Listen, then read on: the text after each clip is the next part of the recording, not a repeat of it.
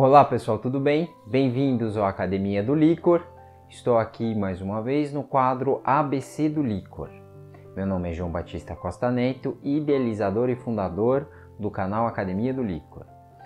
Bem, hoje estou aqui para esclarecer algumas situações em relação a bar e o PCR para tuberculose no líquor.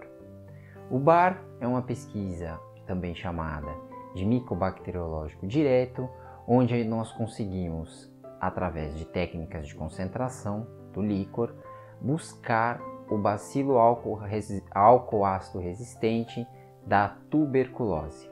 Na minha experiência, a sensibilidade nesta técnica, quando nós temos um processo reacional linfocitário, é muito baixo, menor que 1%. Já quando nós temos uma neutrofilorraquia, uma síndrome neutrofílica persistente, as chances aumentam em torno de 5%. O que significa isso?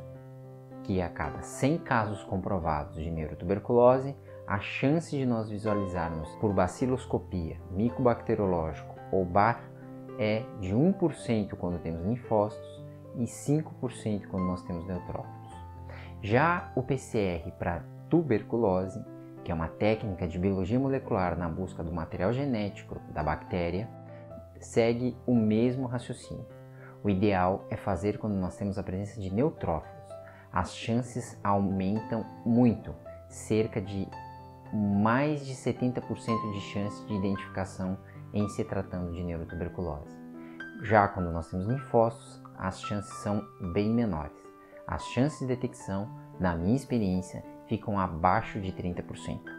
Ou seja, ambas as técnicas para determinados momentos, em determinadas fases da doença, precisam de um entendimento de que nós devemos sugerir a pesquisa na fase inflamatória e explicar que, não sendo na fase inflamatória, as chances de detecção não descartam a doença para um resultado negativo. Quero agradecer a audiência de todos. Não esqueçam de assinar o nosso canal no YouTube e curtir as nossas páginas no Instagram e Facebook. Muito obrigado!